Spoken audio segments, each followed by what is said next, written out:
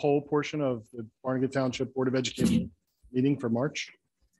All right. Uh, Ms. Cherney, Here. Mr. Hickey. Here. Mr. Iamonte. Ms.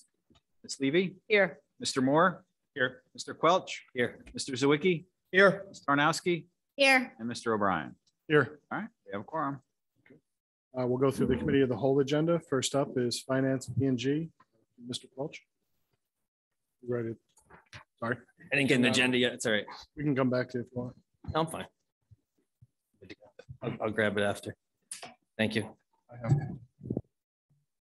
Um, Finance and Buildings, Grounds and Transportation met on March seventeenth. Uh, we started the meeting off the discussion of the HVAC upgrades at multiple schools. Um, the bids were received on March sixteenth, and we spoke about what we can do at this time, what we cannot do. Uh, Mr. Brennan explained that we are going to utilize reserves and proprietary funds to finance the balance that the CARES Act funding does not cover. Uh, While there are concerns regarding the resulting in the capital reserve balance, uh, Mr. Brennan explained the HVAC concerns outweighs the low balance in the capital reserve account. Uh, Mr. Brennan expected to deposit more into the capital reserve for the end of the fiscal year to build that account back up. Um, Regarding finance, we also spoke about the tentative budget, which we presented on June thirtieth. Moving into the buildings and grounds, um, our ESIP solar project um, are completely installed, and we are waiting a few components at the Donahue and Brackman School. Um, The entire project is complete. We should be fully functional by April first. Our staff is completely Our staff is completing training on the new control upgrades we recently finished. The High school science labs are being finished. The TVs in the Brackman schools are being installed. Also, the sound system at the football field is completed and up and running. Um, in transportation, we discussed the cost and convenience associated with the possibility of using charter buses in case we need help transporting students to their sports games. Uh, we also spoke about changing the bell schedules to accommodate transportation schedules. That's all I have to report out. Any questions? Finance P? Thank you, Mr. Welch. Uh, Mr. Zawicki, please, uh, give us an update on athletics. Uh, Thank you, Mr. President. Uh, Before we get started on that, I received an email earlier today. I was wondering if we could get it on the agenda for tonight. That we, a couple months ago, we put in to host a Garden State Wrestling Tournament and we received the winning bid for that. So we got to go ahead to host that. So if we could put that in the agenda tonight and go through with that so that could get going. Um, That, that was a big accomplishment for us. I know we were looking for that for a while. Uh, just to jump in really quick, Rob, it uh, did make the agenda that's digital. Oh, Uh, okay. it was After print. So that is on the agenda. Excellent. All right, thank you. Uh, we did meet on March sixteenth. Uh, we met on that Wednesday and we discussed filling a vacancy for the high school assistant track coach. And that's going to be Sean Foley. We also made, uh, you'll see it on tonight's agenda for a couple motions for all, for a bunch of basketball.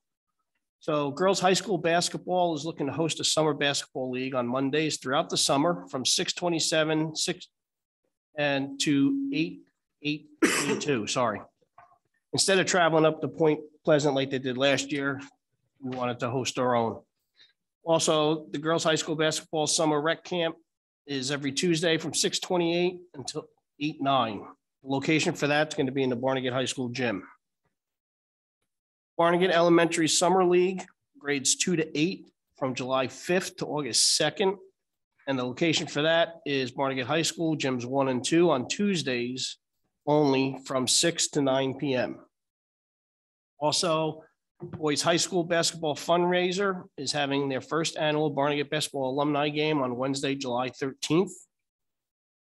Second annual Barnegat Bengals Summer Youth Camp is at the Barnegat High School. That's going to take place on June twenty-eighth to June thirtieth. Also looking for the eighth annual ba- battle at Barnegat, which is the summer team camp at the high school. That's from July eighteenth to July twenty-first.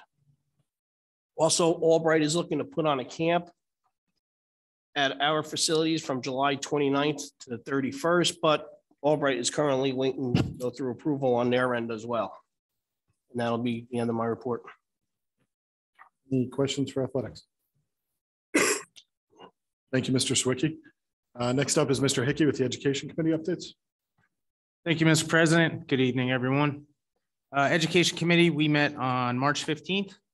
Um, Basically, we're going to be putting forward uh, seven motions this evening. I'll just kind of review some of the highlights from the meeting. Um, It started off uh, with Mr. Gunderson coming in and doing a pretty robust student services update. Um, Part of that update, he was talking about um, us and putting in a new curriculum for the autism and MD program and also adding a new program that we're seeking approval from the county called Language Learning Disabilities.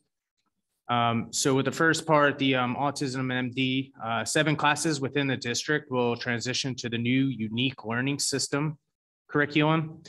ULS is a tremendous resource for our friends that are on the spectrum because it tailors the curriculum to um, their specific needs.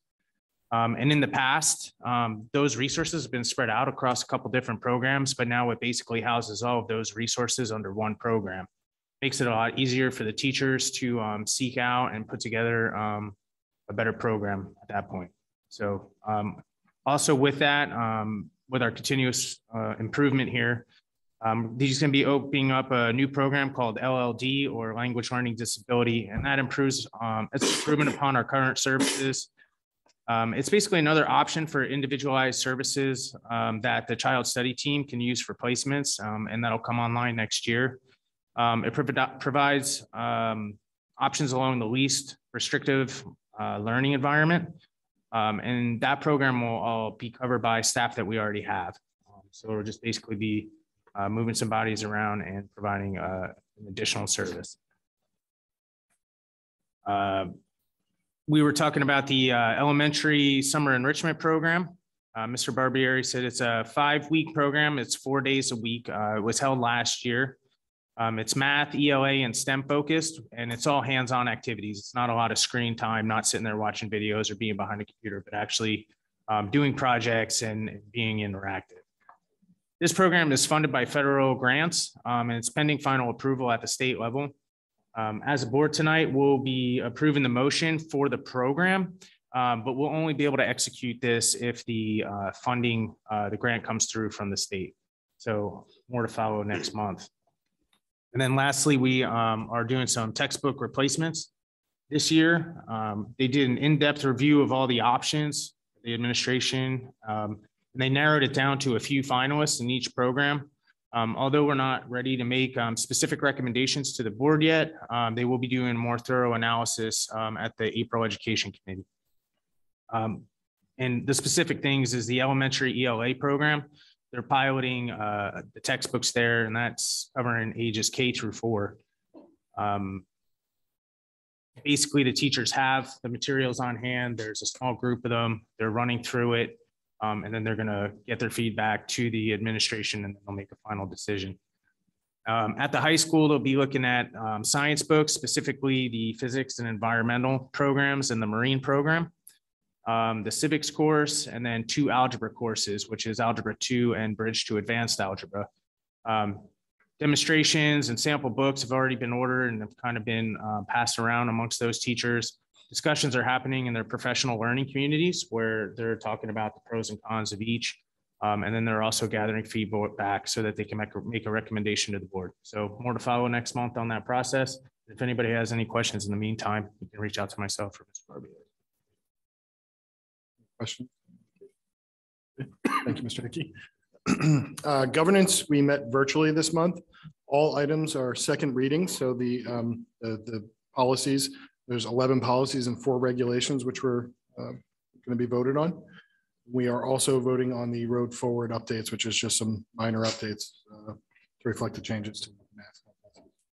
Any questions for governance? Uh, HST, Health, Safety and Technology, Mr. Moore. We ended up uh, discussing uh, some of the camera updates, uh, replacement of uh, the old uh, old system that's an in process uh, project uh, as equipment becomes available. Uh, Phone update was complete. Sonic View message boards or interactive boards uh, complete in the high school, updating the middle school starting uh, this month. And other schools will be completed by next year. Uh, Lockdown was complete. Uh, The firewall computer system, addition to the computer system was updated and completed. Uh, we Just to discuss some of the security uh, um, updates, um, some de-escalation training and inclusive training for the security officers. And just uh, ongoing stuff just for next year, proposed security increases in budget costs and staffing levels. Uh, As we all, all know, the, for health part, the mask mandate was lifted and uh, buses also. So that's gone forward and I think it's gone well so far. Some New things for discussion for the future, possibly getting uh, cameras for the buses. Uh, We have cameras inside the buses, but um, uh, dash cams for driving for the buses, just as a document um, violations. We get complaints about uh, people running the stop signs and stuff like that. So uh, something in the future that- that we could look at. Any questions for HST? Thank you, Mr. Moore. Uh, Personnel Committee met this month and we discussed new hires and transfers, including a new special ed teacher at Brackman School. And I'd also like to honor re- retirees Denise Benz, who's been a music teacher through the, in the district since 1997, and Mr. Ragusa, who's been a security guard and our security, coordinator since 2003. So I wish you guys a happy retirement. Uh, Thank you very much for being part of our, our school district. Uh, Next up, I'd like to hear from Dr. Scott Beck from the Citizens Advisory Committee.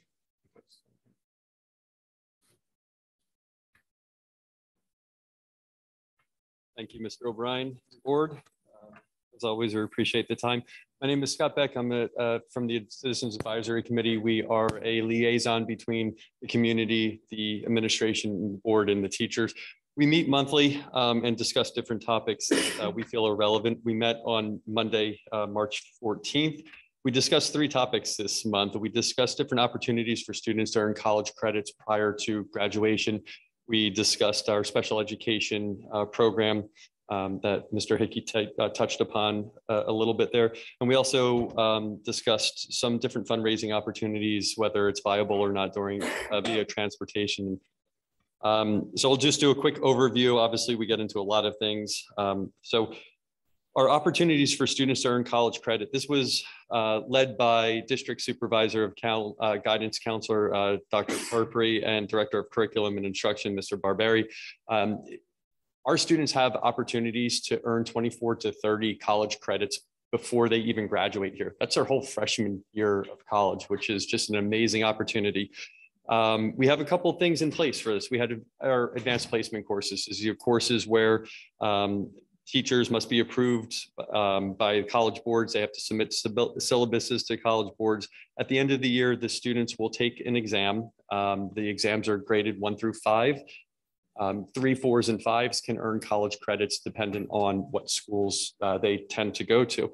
Our district will pay for those tests, so it's at no cost to the student at all, which is a great thing.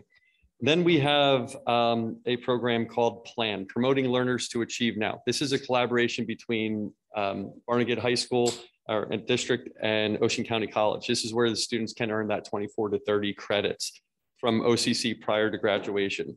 Um, it works as a dual enrollment, it's, uh, which is our embedded program here. Teachers are considered adjunct professors at OCC. Students have all rights that a student at OCC would have.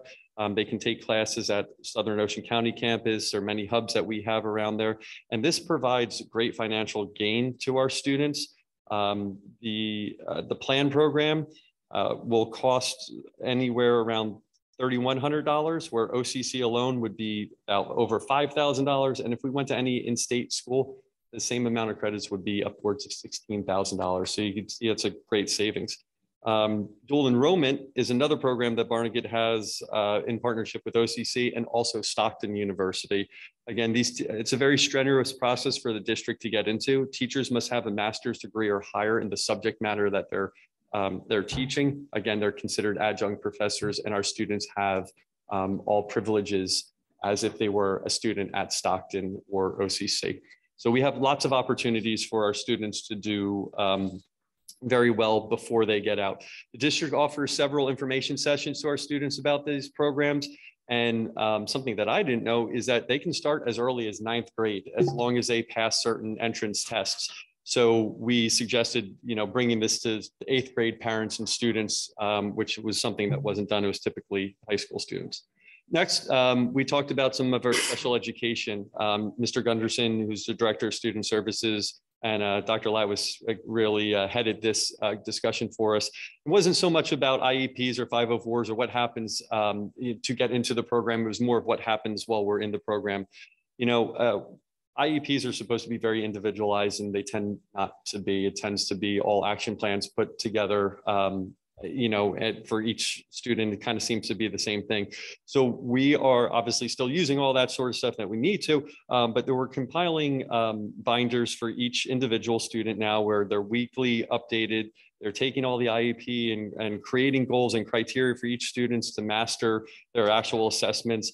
Teachers are helping these students reach their goals. If the teachers are not, then we have instructional coaches um, to help the teachers. We have supervisors to help the teachers.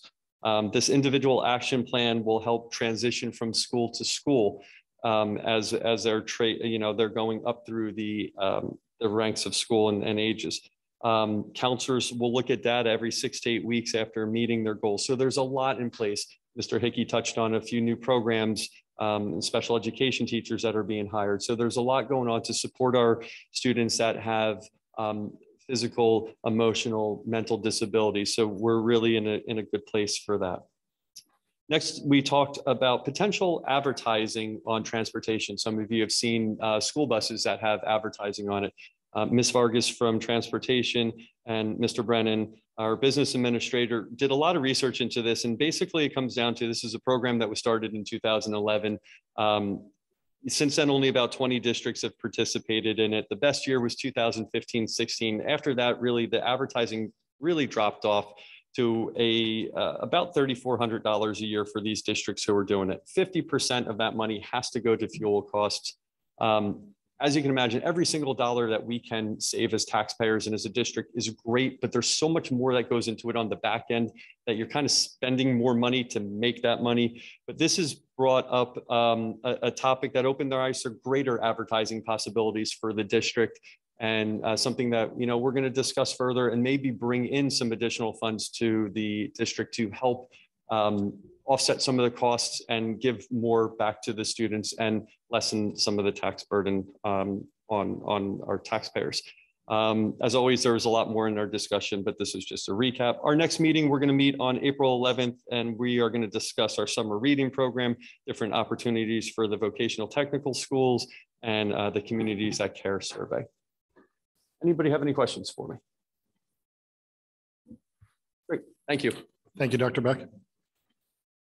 May I have a motion to adjourn committee of the whole, please? So moved. Second. Uh, Ms. Cherney. Yes. Mr. Hickey. Yes. Yes. Mr. Moore. Yes. Mr. Quelch. Yes. yes. Uh, Mr. Zawicki. Yes. Mr. Tarnowski. Yes. Mr. O'Brien. Yes. Okay, we're adjourned. Uh, I'd like to call the meeting to order for the regular meeting for the Barnegat Board of Education for March 22nd, 2022.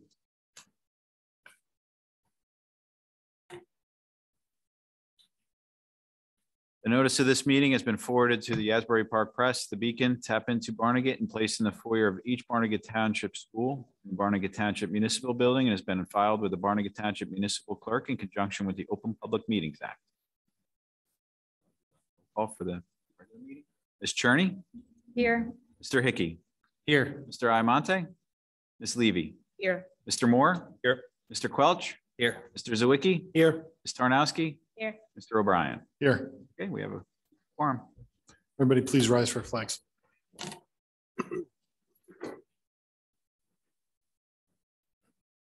Pledge allegiance to the flag of the United States of America, to the republic for which it stands, one nation, under God, Indivisible. liberty and justice for all.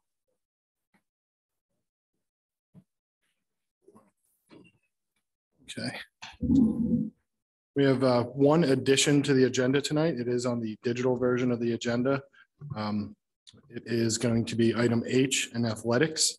And Barnegat to host the thirty-eighth Annual Garden State Classic Wrestling Tournament, December seventeenth at the Barnegat High School and Middle School. Uh, Can I please have a motion for the approval of the agenda? So moved. Second.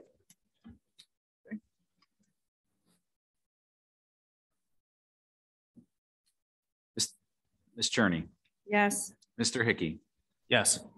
Ms. Levy, Yes. Mr. Moore, Yes. Mr. Quelch, Yes. Mr. Zawicki, Yes. Ms. Tarnowski, Yes. Mr. O'Brien.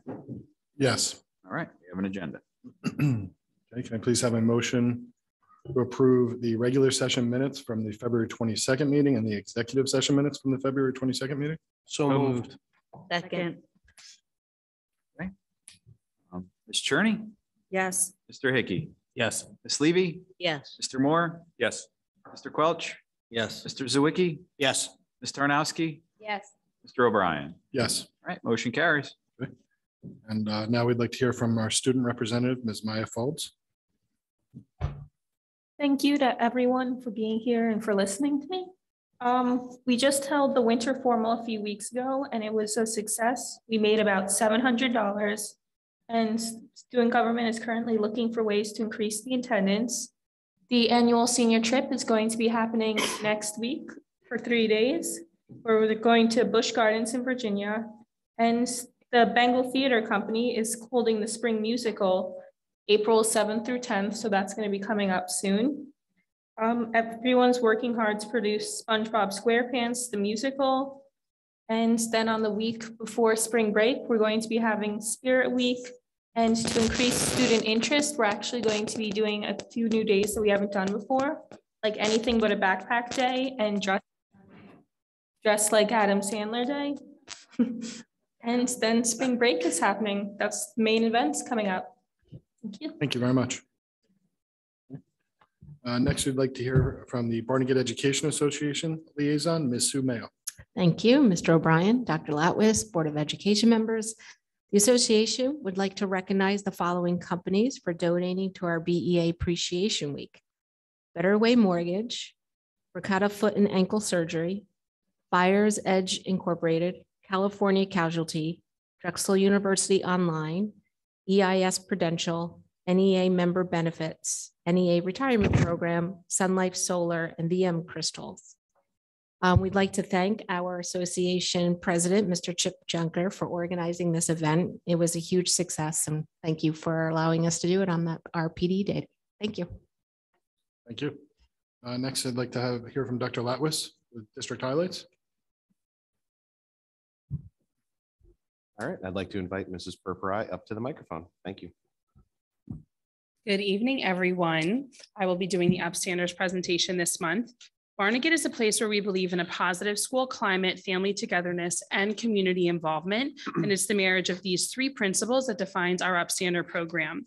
To unite Barnegat as a district, we are still utilizing our Bengal Pride acronym. So this month, for the letter P, our students have exhibited perseverance. To reward these students, we're granting them with this public recognition and a gift card for a family meal from Mama Rosa's Pizzeria, courtesy of Mama Rosa's, to reinforce the idea of a family meal and family togetherness. I'm honored tonight to recognize six upstanding individuals to their commitment to helping make Barnegat a better place. So when you hear your name, please join Superintendent Dr. Brian Latwis, Board President Mr. Sean O'Brien by coming to receive your plaque and your gift certificate. First, in absentia, a freshman at Barnegat High School, Miss Anaya Roman. Anaya Roman's character strongly represents perseverance. This year, she has overcome many obstacles, but still manages to stay focused and continue to work hard and succeed. In addition to perseverance, she is dedicated and focused on her goals, and we're glad that she's a part of our Bengal family. Next, we will recognize from Brackman, eighth grader, Alan Wang.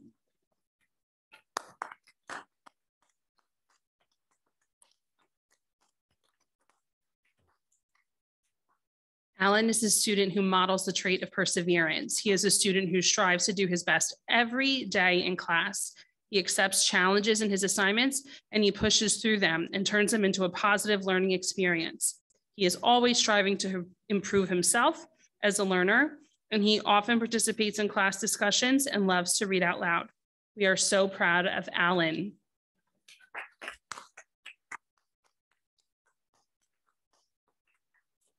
Next, we will recognize fifth grader from Horbelt, Chance Joseph.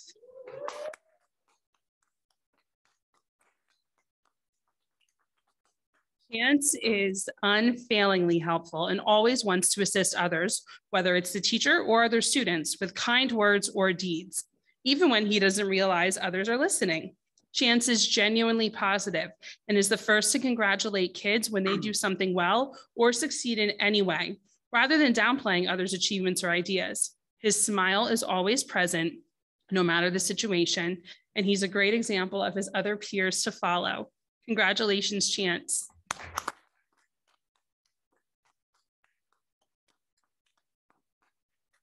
And next from Donahue, we will recognize fourth grader William or Billy Salami.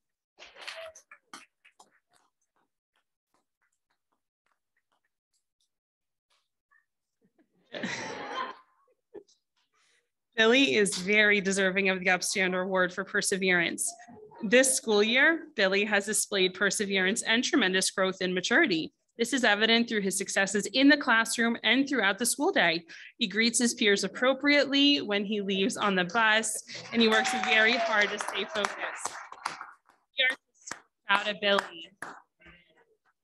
Congratulations, sweetie.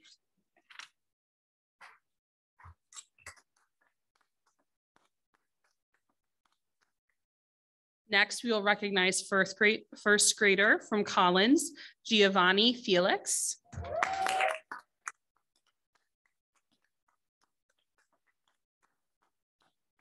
Gio Felix deserves the Upstander Award of Perseverance because he comes to school every day with a smile on his face. He is not afraid of hard work and always tries his very best, even when things are difficult.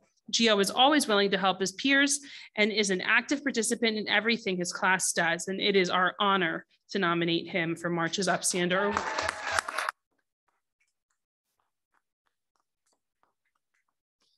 And last, we recognize pre-K student from Dunfee, Grayson Hughes.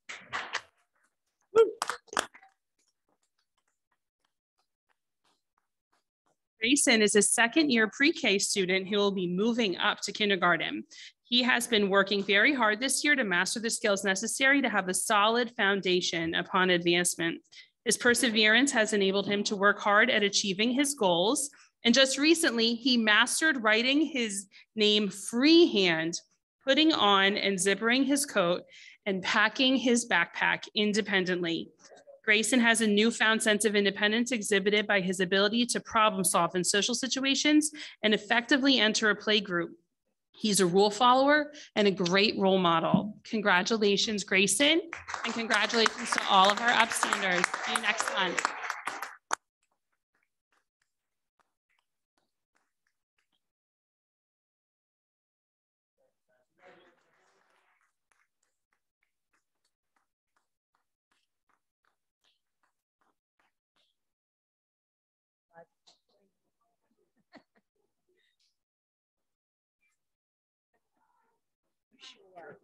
Especially this time. of year, it starts getting swarmy.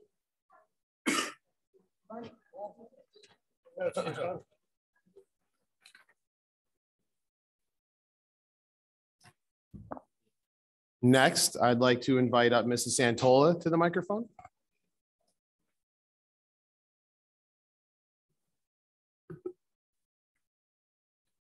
Hello, everyone. As a celebration of Youth Art Month, we hope that you were able to view the artwork of our third and fourth graders that's presented in the lobby. If you didn't get a chance, please take a look on your way out.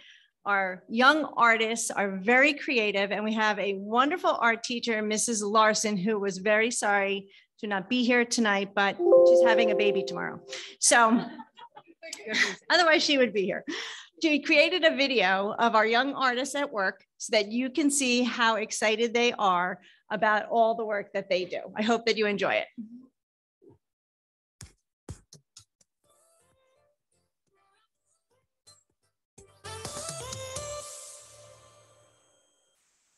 Hello, Barnegat families. My name is Tara Larson. I'm the art teacher here at the Joseph T. Donahue Elementary School. I want to welcome you to our classroom as we celebrate Youth Art Month.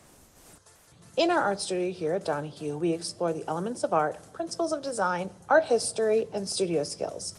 Instead of me telling you, I wanted to have the artist show you.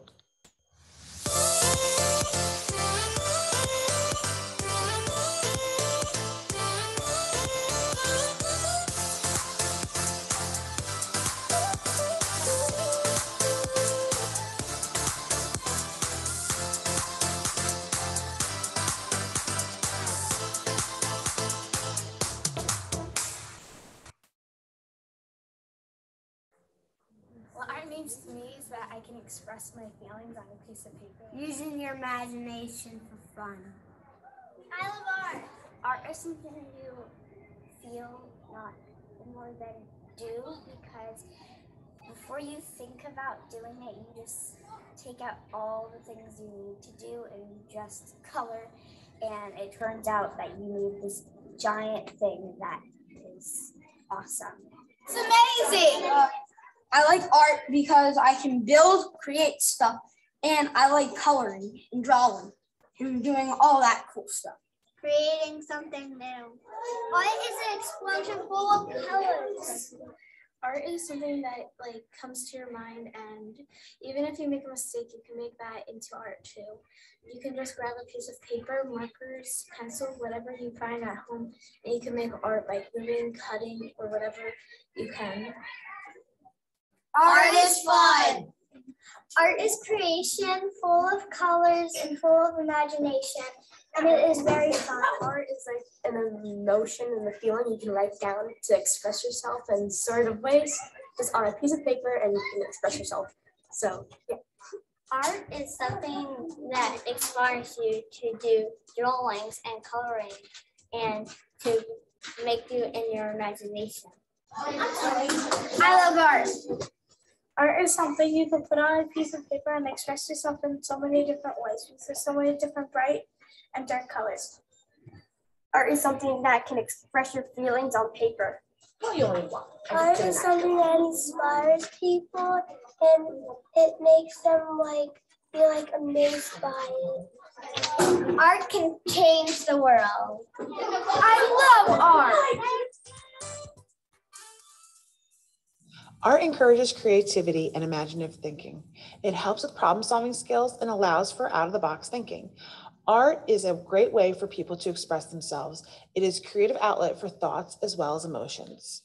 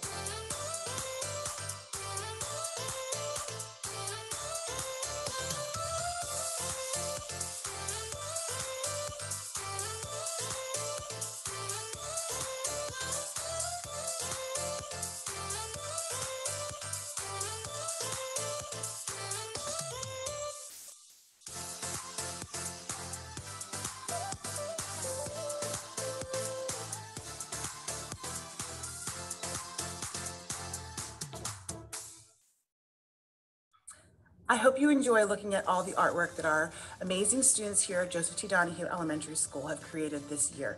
Please join us on May 17th for our annual Night of the Arts at the Donahue School. And we will have our first annual um, Festival of the Arts at the high school on June 8th. So I hope to see you all there.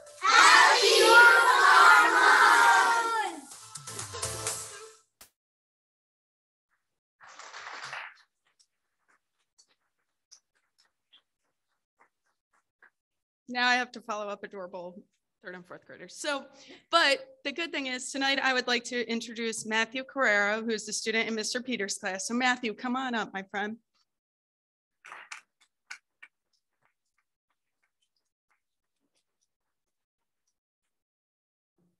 And Matthew is being recognized for his, uh, by Mrs. Williams and Miss Paulsino for his dedication to his artwork and his friendly demeanor.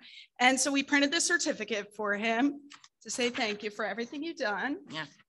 And his dragon is actually displayed in the foyer. So please make sure you check out his dragon, but that was wonderful. Okay. Thank you, my friend. Good job. Good job. Thank you. Statement. If I can, yeah. thank you, thank you. We're really proud of you. Yes. If I can, can you speak microphone, please? Sure. Okay. The real Barnegat High School, we did awesome. As always, part of teamwork.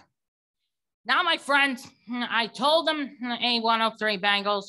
I told Mr. Pierce, he just said, thank you, Ryan DeSantos, for everything. My friends said, always say thank you. I did award win to ceramics. I make a dragon did by myself. I help us Ryan DeSantos.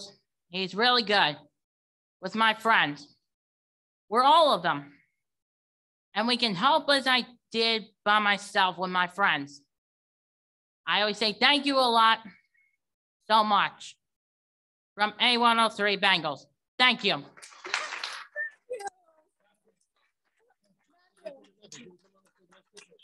Go ahead, buddy. So cute.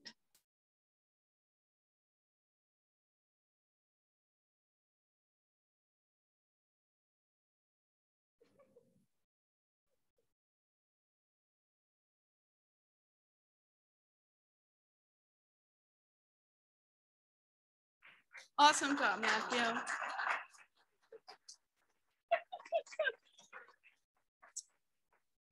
So additionally, we have some of the adaptive art classes at our displayed in the hallway. And if you would please follow at Barnegat Arts on Instagram, you will see some of the amazing artwork created by our students. And as Ms. Larson um, said in her video, on June 8th at 6 p.m., we'll be holding a One Barnegat Music and Arts Festival at the high, at the high school. And this will highlight performances in art by students in grades 3 to 12.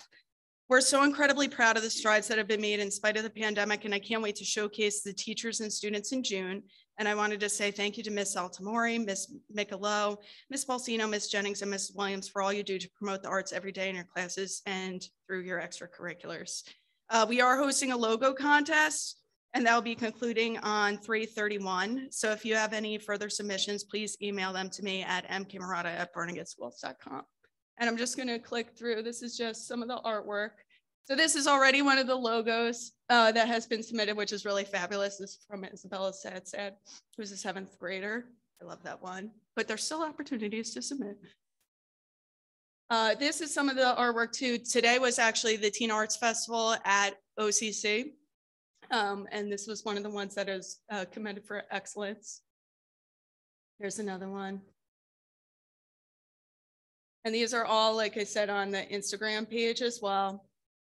Uh, the teachers have been doing a wonderful job. This was at uh, Teen Arts today as well. Yes.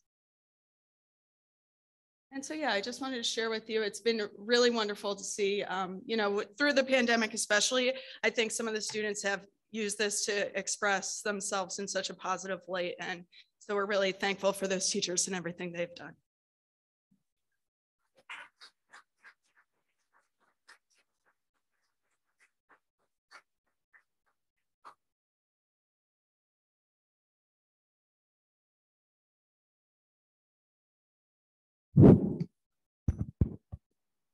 Thank you. Uh, Thank you, Mrs. uh, Santol, and thank you, Mrs. Camarata, for sharing uh, that presentation tonight. Um, Just to piggyback on that, um, I'd be remiss if I didn't uh, uh, really just take a minute to recognize the dedicated and very talented staff that we have here in uh, Barnegat School District, especially in the area of arts. It's one of the many things that I think our district really does very, very well. Um, And I really, I can't express how proud we all are of our extremely talented uh, student body. Our students come in, I think we really do a nice job of prioritizing the arts at an early age. I mean, even uh, before third grade, we have students coming in our pre-K program. Um, and, and to see what some of those students are able to do at that young age and how that grows and continues to get more impressive by the time they get to high school. Um, I really encourage you to take uh, the opportunity to walk around the foyer here and to take a look at what some of our students do because it's, it's, it's really impressive um, to say the least. So thank you and kudos to those guys. Uh, last but not least, I'd like to invite up Christina Smith uh, so that we can honor the Seal of Biliteracy winners. Thank you.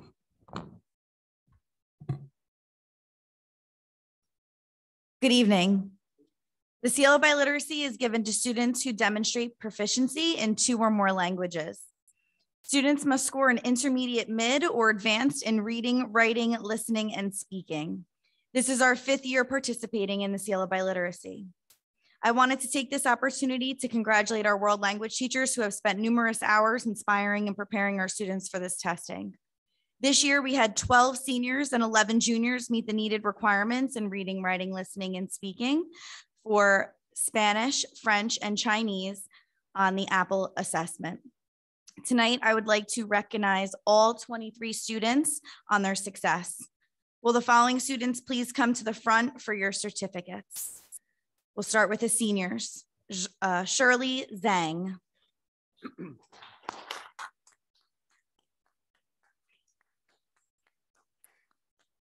Nicole Shavera.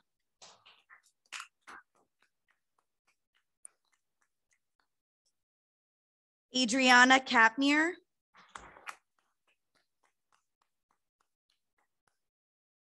Juliana Can- Canizaro.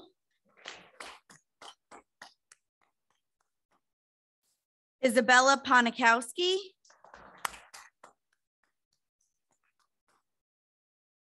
Isabel Guiro.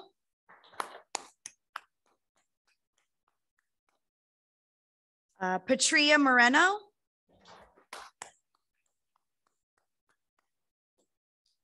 Daniel Orr. Gianfranco Barani. Rafi Ferreras. Jose Amenderes. Brittany Martinez. Okay, juniors. Skylar Dasty. Maya Gomez.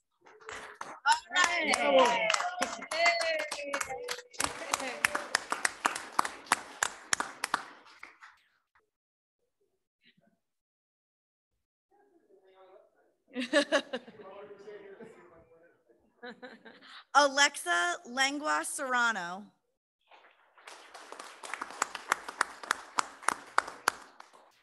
Isabella Lobo. Carlos Salgado Romero. Fernanda Rojas Quintero. Joseph Sanchez Cornier.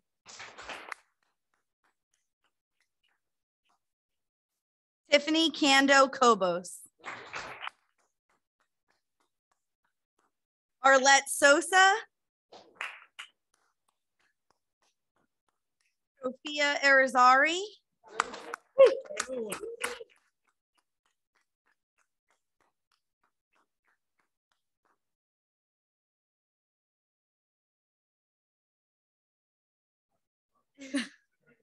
And then lastly, Carolina Vega Silva.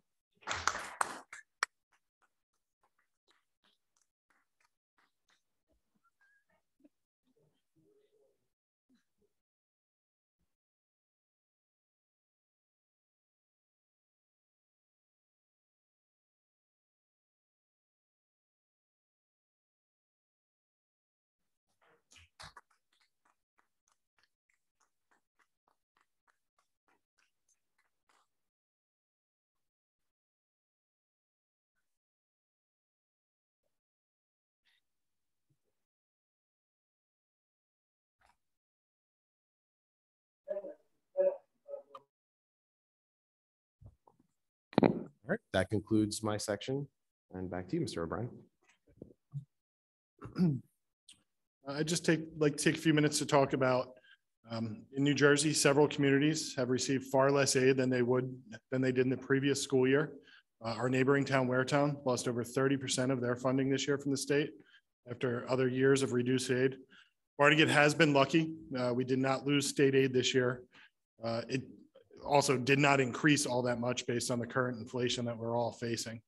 The district is facing significant headwinds uh, with nearly a ten percent increase in benefit costs, uh, increases in SPED and ESL populations, which are outpacing the reporting periods. Uh, But we will continue to make sure that all the funds are used as effectively as possible to continuously improve the schools. Um, Tonight, we'll be voting on the tentative budget. This is mostly what was, will be presented to the public at our budget hearing. I'd also like to highlight the SpongeBob musical presented by the Bengal Theater Company, which will be at BHS on uh, April 7th through the 10th. And then Beauty and the Beast, which is presented by the Bulldog Theater Company, uh, March 31st through April 2nd at the Brackman Middle School. Please come check out the uh, amazing staff and uh, the students and staff presentation. Um, Congratulations again to the Seal of Biliteracy uh, students. That was, that's great work. It's, it's amazing honor. So congratulations. And then um, we'll also be voting on the summer enrichment program this evening. And this was a great opportunity for kids that were struggling next year to get the extra help they need. So uh, please look for more information to come on that. That was all, uh, all I had. Um, May I please have a motion to enter public session? So moved.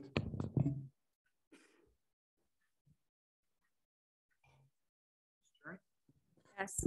Ms. Cherney, um, Mr. Hickey, Yes.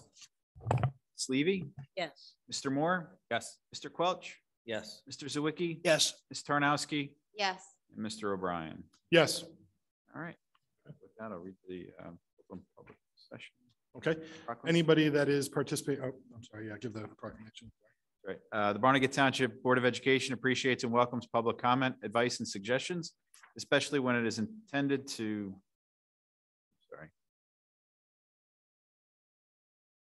Or just wigged out a little bit.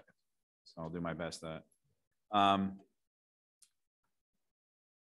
Especially when it's intended to assist the Board of Education. Please feel free to speak to the board during public session. Comments and discussion will be limited to one five-minute period per individual unless requested by the chairperson and continue on a point of clarification. Public comment at the special meeting of the board shall be related to the call of the meeting. In accordance with the Board of Education policy, each participant must preface, I'm sorry, each participant must be recognized by the presiding officer and must preface their comments by an announcement of their name, address, and group affiliation if appropriate. Your anticipated courtesy to the members of the public. Appreciated. Thank you, Mr. Brennan. Uh, Anybody that's online, if you'd like to speak, please uh, uh, raise your hand in the chat. Is there anybody in the room here that would like to comment?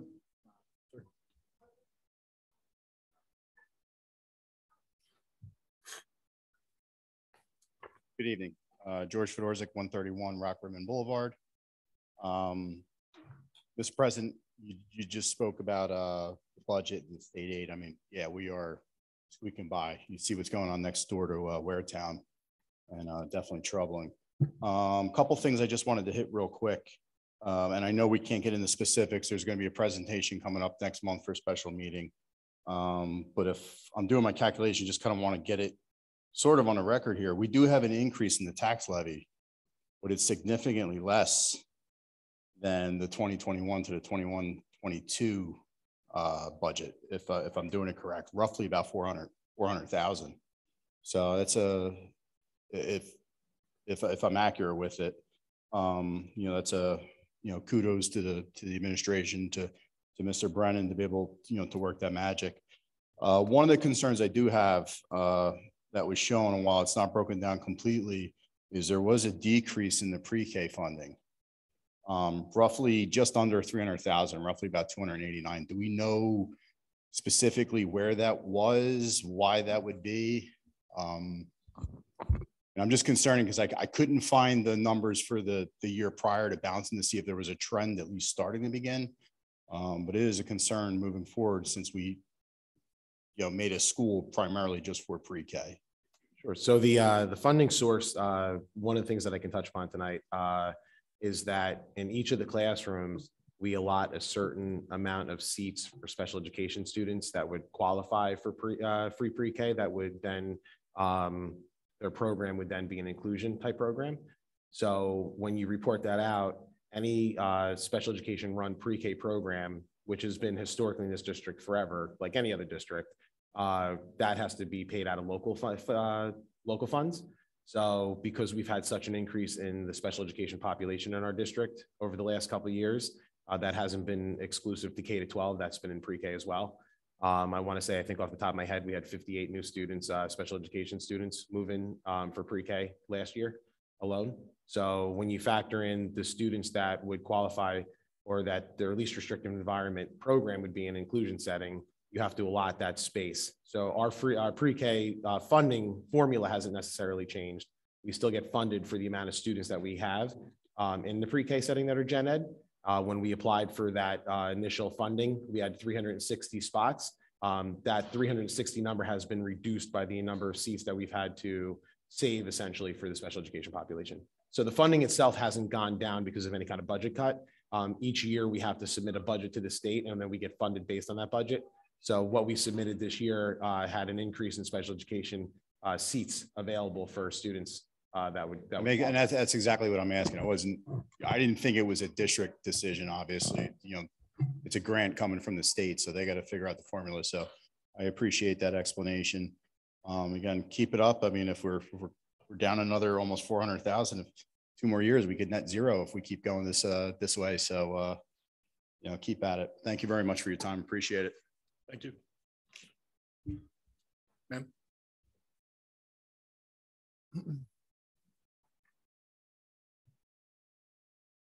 Hello, everybody. Um, I'm Christine Costello. I live at 330 Hawthorne Lane in Barnegat. Um, I've become more involved this year with the strategic planning meeting and showing my face and just trying to um, feel out some of the members of our community and kind of be a voice for some of the teachers in the town. Um, I have two children in the Barnegat Township School District.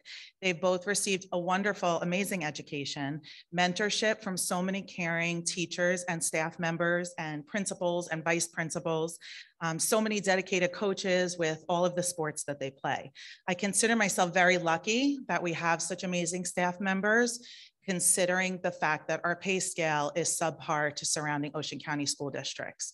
Um, this year in particular, when my son started sophomore year, we all had really high hopes. You know, we're going to come back strong from COVID, we're going to close the gap, we're going to catch up, and we're going to be strong. Um, he's lost three teachers in one year, his sophomore year in high school. His US history teacher left the district for a career change. His chemistry teacher left and went to a surrounding district. His now honors algebra two teacher is leaving and going to a different district. I can't speak for them, but some are leaving for more money and just pulling out, putting feelers out with my friends in the community, many of which are teachers. The morale is low and it's not just because of COVID.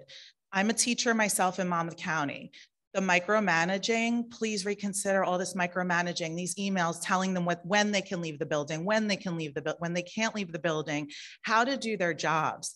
If our teachers can close their doors and do their jobs, our kids are succeeding, but they're leaving. And at the high school alone, about 20 staff members, if my information is correct, have left since August.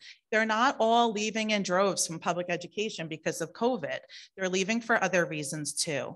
And I just really wanted to start the conversation through strategic planning, through the community, through the Board of Education, that if we don't change, the schools are not going to grow. They're not going to develop. They're not going to get better. We can't keep having that revolving door of staff members. And I'm just really concerned. My daughter's in sixth grade. You know, I'd say I'd bide my time with my son as a sophomore, but I don't want to bide my time. I want to live in the community and be part of the school system that I'm proud of and that I love. So I just really wanted to bring light to it. I'm not here to point fingers. I'm not here to call people names or be derogatory in any way. I mean, I, I read the Facebook posts. I think it's ridiculous what all of you have to deal with every day. You should not be exposed to that type of criticism and scrutiny, nor should teachers, because sometimes community members will take a teacher's name and put that on Facebook. I'm not here for that. I just really want to start the dialogue and see what we can do. Because if things don't change, I'm really scared for our school. I'm scared for our community. And I just I want to see Barnegat get better. I love this town. I've lived here for 17 years and I'm a proud community member. And I just wanted to be here for my children, my friends' children, all the students, and also for the teachers and just really let teachers get back to teaching. Stop micromanaging and telling them what they have to do every minute of every day. I know we need data for the state. I know we need data for funding. I'm aware of all that. I know we have to test and we need to have data driven instruction and RTI, but we need to let our teachers do their jobs. Um, you know, I want to thank you for your time, consideration, and um, I'm here. If I can be part of the change, I would be more than happy to be part of the change. Um, reach out to me if we can make a committee, if we can do anything. I don't really know what we can do at this point, but I just hope it's time for a change at this point. Thank you. Yeah, if I can just take a minute to respond to that, I would love to. So, um, I mean, we could have this conversation the entire night. Uh, and I- in all honesty, it is, it's a number of different things that, that lead to that. So I, I totally agree with you in that, in that front. Um, from a staffing uh, perspective, as far as a lot of our staff that are leaving for other opportunities for money or closer to home or things like that, uh, we've, not we at Barnegat, but we as a state have created like a perfect storm in that regard. So three years ago, when I was at my superintendent roundtable in the spring, we had uh, five of the top schools in New Jersey that graduate education majors come and speak to us about a crisis that they had on their hands. On average, we lose about 5,000 teachers a year to um, in the state to either moving or retirement or any number of reasons, choosing to stay home or changing career path. All those programs collectively graduated 3,500 teachers. So I can tell you that ever since going back, and again, not here pointing fingers, anything like that, but going back to the damage that uh, Christie did with blaming the public education system and blaming teachers, I can tell you as being an administrator during that entire time, we've had less and less applicants apply for positions. And it's not just us, it's everywhere around us. This is a staffing, this is a crisis with teacher shortage that goes across the state. Um, that's, that's certainly not exclusive to us. Uh, we are very concerned about, you know, morale and what we can do better. I got to be honest, I think this is probably one of the best places to work. And maybe I'm biased, but we have a uh, BEA that this entire last week voluntarily ran a teacher appreciation that partnered with administration to do something every day for the teachers to show that they're appreciated. We have done uh, things where every year since I've been here, we've run a superintendent inspire awards where we've had on average 60, 70, 80, 90 staff members get honored every year. We, I think, go above and beyond to try to honor staff. If they're a staff member of the year, we go out of our way to honor staff members that go above and beyond, whether it be personal handwritten notes or, or sending things to their, uh, or stopping by their classroom and, and writing handwritten notes, things like that. Um, I could tell you from an administrative perspective, from the Board of Education, this is something we take seriously. We just paid $26,000 for a culture and climate survey of our staff so that we could get honest feedback on areas where they think we could do better. Yes, completely anonymous. We actually outsourced with a third party uh, vendor because we wanted to make it anonymous. We have done countless surveys between the BEA and myself where we've asked for feedback from the staff. Um, this is something that I hear a lot um, as far as morale. It's not just specific to here. But if I'm going to be honest, for here, we can hyper focus on here. So four years ago, I took the helm here. I was a director of special ed prior to that for um, in this district for three years. Um, so I knew what I was getting myself into and into taking this position. When we looked at our education system, we were failing our kids.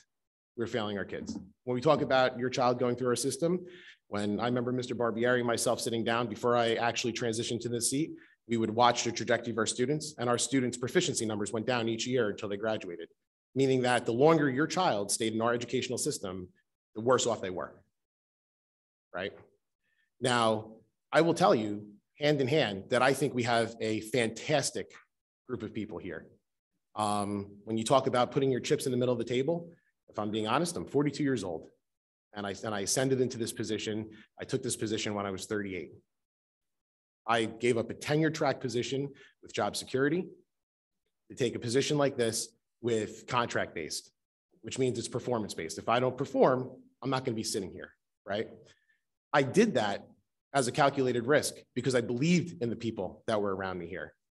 I would never, ever jeopardize my family's of my ability to, to earn for my family and put dinner on my kids' plates at night, right? If I didn't believe in the people that I was going to, going to battle with here. We have a fantastic staff, right? And I hate to see some of them leave. But I'm going to tell you that sitting in this chair and as an administrative team and as a board of education, you have to make some difficult decisions. So some of those difficult decisions were changing a lot of the things in the culture that we had here. Five years ago, we had no data assessment to figure out where our kids were. We had the state assessment. And upper administration would tell everybody that the state assessment was apples to oranges and wasn't worthwhile. So we didn't find out how our kids were doing and we didn't acknowledge how our kids were doing. So it's very easy to close your door every day and to, to work with your, with your student body when you had no mechanism of feedback. You could go out there and you could do the best that you can, put your pillow, your head on the pillow at night, and you can know that you did the best and that that was a job well done. We had to change that though. We had to get some form of metrics to find out if our students were doing better. If we, if I sent it into this position and we were 80% proficiency across the board, we wouldn't have changed a thing. We would have tried to attack the, the problem with a scalpel, not a, not a take an axe to it. But that wasn't the case. Our high school right now is currently in the bottom 25% in the state. Our middle school is in the bottom 10% in the state. I don't know about you, but I don't think that is fair to the taxpayer. And I can tell you that our teachers work hard. Our administration works hard. So when we made some of these unpopular decisions to reconfigure the district or do some of these other things to put supports in place, we now brag about having more support for our staff here than I can tell you in any of the neighboring districts around us. We have, I want to say, last eight master teachers and instructional coaches that are purely their only focus and their only job is to help our teachers, right? Our instructional coaches help them to guide that data. When you look at instruction in a classroom, there's three major components to it. It's your planning phase, your instruction phase, and your assessment phase. Because as I can tell, the number of people in this room have heard me say this a million times before. I can teach my dog to uh, sing the Star Spangled Banner, but it doesn't mean that my little Izzy learned it, right? But I taught it, but it doesn't mean that she learned it. And unless we have a mechanism in place to find out the instruction that's delivered, that our students learn that, that they learned it, that they walked away from that knowing the material that was covered, then we're letting our staff fly blind.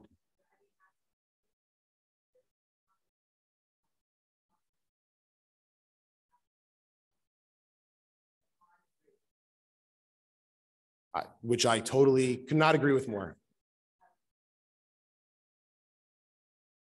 I, I totally agree with you. And, and I could, and I could tell you that is something that from an administrative side of things, we desperately, you know, we want to hold on to our quality staff members, right? And, and I'm well aware of, of the reason why some of them left. And I think some of it was valid with either money, financially reasons, because if you're in education, you know that you only go up a step each year, right? And when we talk about some of the neighboring districts paying more, uh, big kudos, I mean, to the Board of Education and to the BEA. We settled our last contract in one and a half days. And we outpaced the state and the raise for every year that we, that we did. So we're trying to attack this from every possible angle that we can. County average, yeah. So we, we have gone out of our way to try to attack this. And the last thing I'm going to say, because like I said, we could do this all night. Um, and, and not in a con, I'm not being adversarial. I think this is a great dialogue. I really do. Um, when we talk about the number of assessments, I've heard people say micromanaging the number of assessments. We put out an assessment manual about four years ago that outlined as a support to teachers what a good assessment was, what a quality assessment was, and then we set parameters for the grade book for what we were looking for. And that was three majors and seven minors, Mr. Barbieri? Six minors, seven minors, seven minors. So that's 10 assessments in a, an average marking period is 45 days. So seven minor assessments could be as quick as an exit ticket, could be a five minute quiz, could be, it's minor. It's a minor assessment. The major assessments should probably take a half a block for our high school folks, right? So I hear a lot that we overassess when we look at that and we micromanage because we want that. But what we're trying to do is really change the culture here of where we didn't assess and we didn't ask for that feedback and we didn't look to see if our students really learned what we were putting out there. So I understand that some people, it's still kind of like a, a growing pains, if you will. But when I hear people say, well, we assessed 10 of the 45 days, that's a little misleading, I think. So I totally agree with you. I think we definitely share that same concern. Hence, like I said, a couple months ago, the board approved the $26,000 culture and climate um, survey. But you know, I, I, I do think we are trying to attack this from every angle that we possibly can to maintain our quality staff members. Absolutely. No, no, please. I think that was great. And I really appreciate you bringing that forward. And I, I would like to comment on the survey a little bit. The survey is um, intended, you know, the Board of Education discussed it. We discussed it with the administration. Uh, We had a similar survey at the company I work for, and it completely changed the culture of our organization. Uh, So as a manager of people in, in my company now, I have specific goals tied to the survey results. And, and that's the expected outcome of this survey is to understand how the staff feels about the direction they receive. Is it clear? Is it meaningful? So that the administration can develop action plans to address, it, it allows them to focus on what the problems are because these, that's what these survey companies do. They, they look at this information across thousands of different metrics and they, they can take these, you know, disparate kind of communications and, and filter them up to, this is what this means. And the output of that will be an action plan that helps the, the administration address those challenges the staff are facing that are, that are a little more nebulous than, you know, how hectic the day is, right? So it- it'll, it'll allow them to specifically focus on what is needed and what, what can be done to help drive some change. Anybody else in the room have any more questions? Mr. Junker?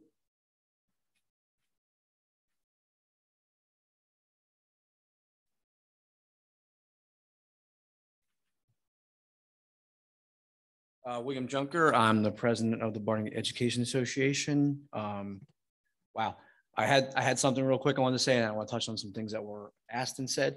First and foremost, I want to thank Dr. Latwis and the administration for helping the BEA set up that whole week, especially the Monday um, coming in um, and the member benefits fair. I, I hope that everyone, administrators included, um, saw how hard we worked to make it an awesome day, an awesome week.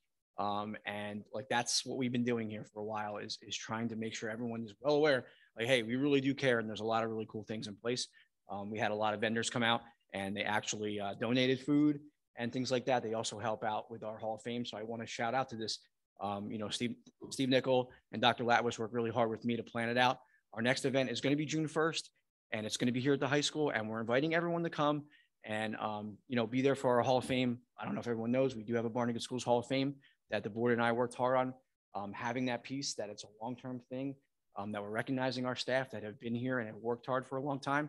Me being a Barnegat kid, understanding how hard teachers like Miss Selfridge and Miss Cucinato worked for me. Um, so June 1st is going to be that, and it's going to pair with Dr. Latwis Inspires Awards.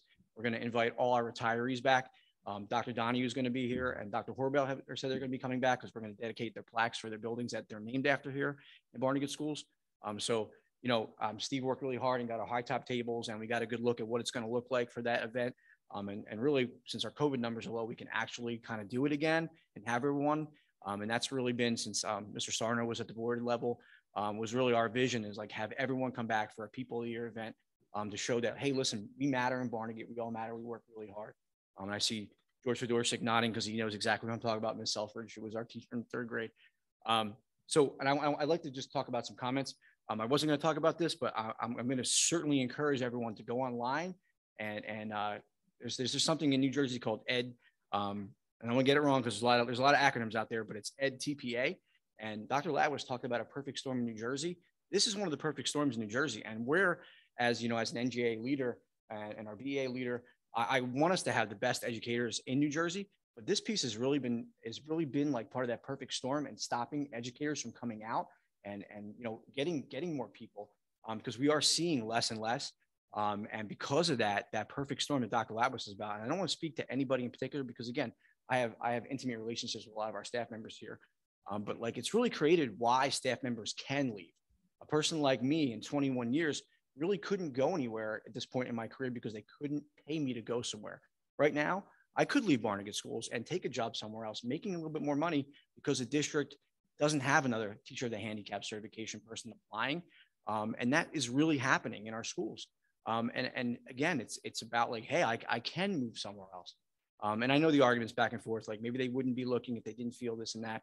Um, but like, again, um, there is that storm that's been, been created. And I urge everyone to go on and, and take action against this, this, this TPA thing. And I saw Mr. Barbieri nodding because it is very difficult um, for a teacher to go through go through the program, and then it's an arduous process after.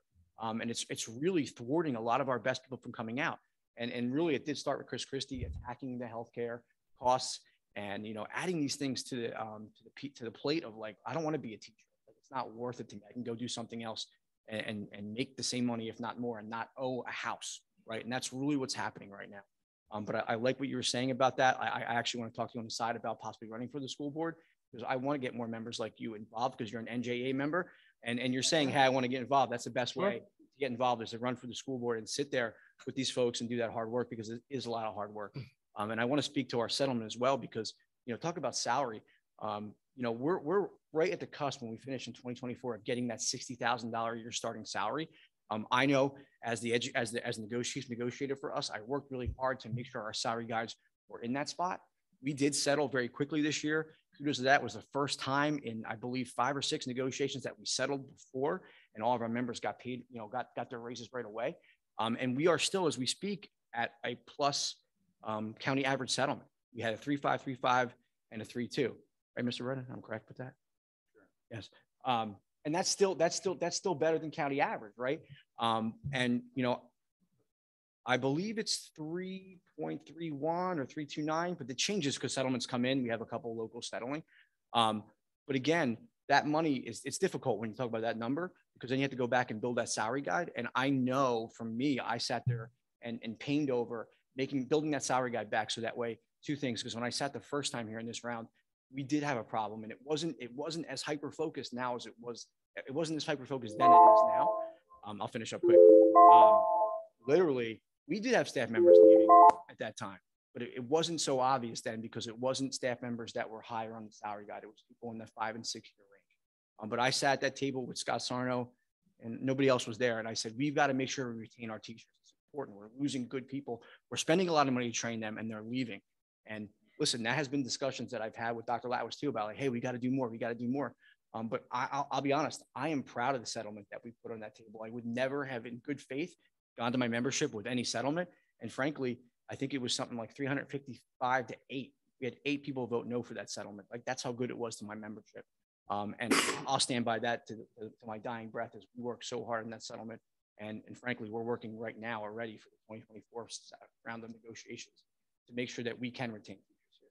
So I'm sorry I went over, but I want to thank you guys again. We worked so hard for that week and, and, and really it, it was a pairing with our administrators, Dr. Latwis and Steve Nickel um, to really make that happen. And I can't thank you guys. And it wasn't Sarno. No. Mr. Sarno was the board president when I negotiated the first contract. Oh, the first one. Yes, absolutely. And- They were and talking was- about this past And that was, no, no, no. And that was the problem with the first round is that we were struggling to retain teachers. And I said that at that round as well, like we are struggling to retain teachers here. And that really hasn't changed, but we're trying really hard. Yes, you were the second round negotiator. That was the good contract. You're the one that got done quickly. Sorry, I just But the other guy out there. I was proud of that one. Uh, is there anybody else in the room who'd like to speak? Okay, Anybody online like to speak? I have a motion to adjourn public session. So moved. Second. Um, Ms. Cherney, Yes. Mr. Hickey, Yes. Ms. Levy, Yes. Mr. Moore? Yes. Mr. Quelch? Yes. Mr. Zawicki? Yes. Ms. Tarnowski? Yes. Mr. O'Brien? Yes. All right, public session is closed at uh, seven.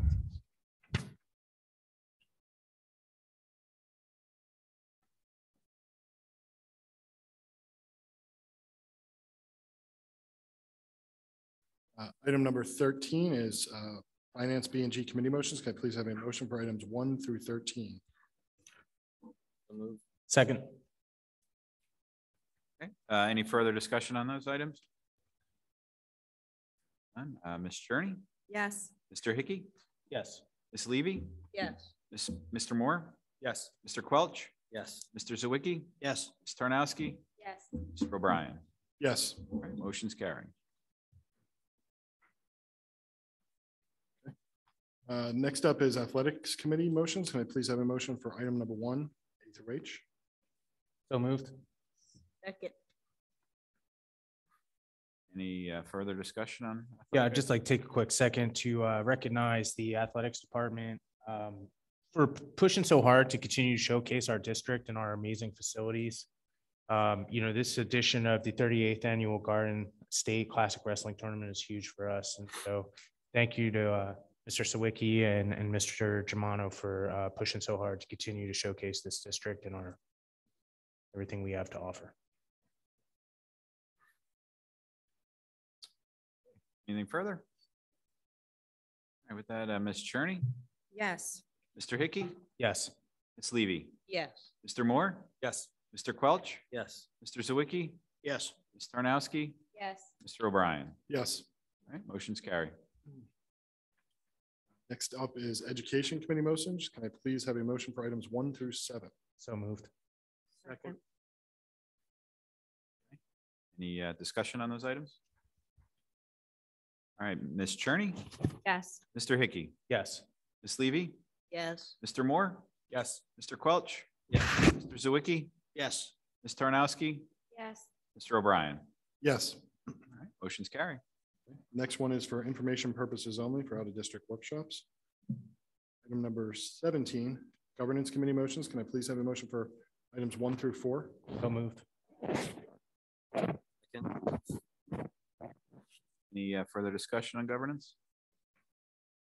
Ms. Cherney, Yes. Mr. Hickey, Yes. Ms. Levy, Yes. Mr. Moore, Yes. Mr. Quelch, Yes. Mr. Zawicki, Yes. Ms. Tarnowski, Yes. Mr. O'Brien. Yes. Motion's carry. Uh, next section is personnel. Can I please have a motion for items one through twenty-three? So moved. Second. Any uh, further discussion on our personnel? Ms. Cherney, Yes. Mr. Hickey, Yes. Ms. Levy, Yes. Mr. Moore, Yes. Mr. Quelch, Yes. Mr. Zawicki, Yes. Ms. Tarnowski, Yes. Mr. O'Brien. Yes. Motion's carry. Uh, Next up, can I please have a motion to enter executive session? So moved. Second. Ms. Cherney, Yes. Mr. Hickey, Yes. Ms. Levy, Yes. Mr. Moore, Yes. Mr. Quelch, Yes. Mr. Zawicki, Yes. Ms. Tarnowski, Yes. Mr. O'Brien. Yes. All right, we're in executive session at seven twenty-three. Okay, everybody online, we will be back.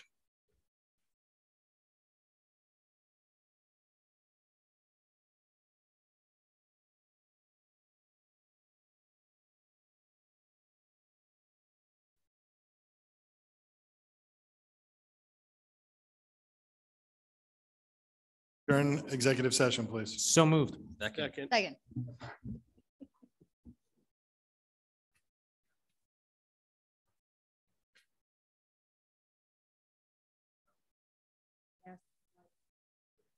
Yes. Yes. Yes. Yes. Yes. Yes. Yes.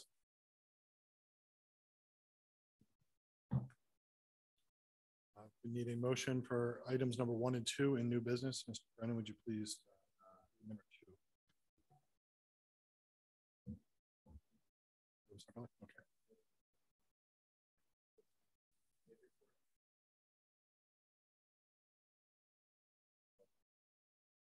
Second.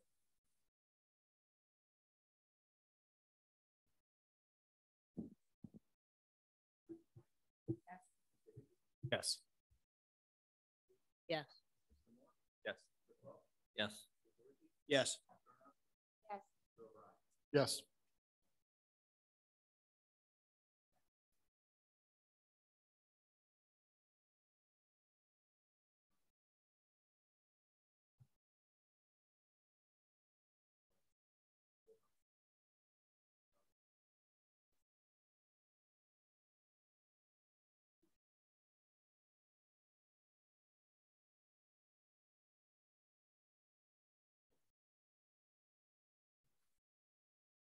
Please. I move.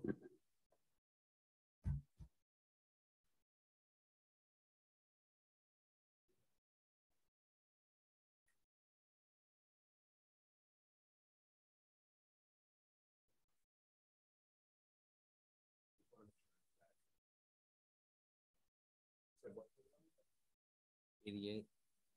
Oh, you're good. then. Sorry. Please.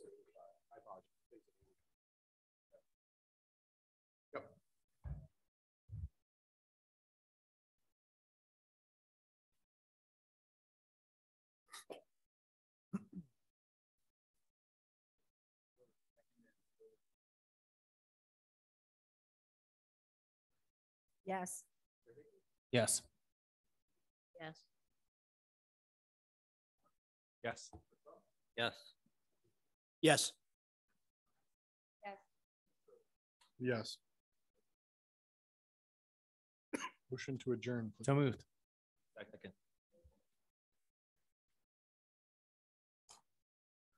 Yes. Yes. Yes. Yes. Yes. Yes. Yes. Yes.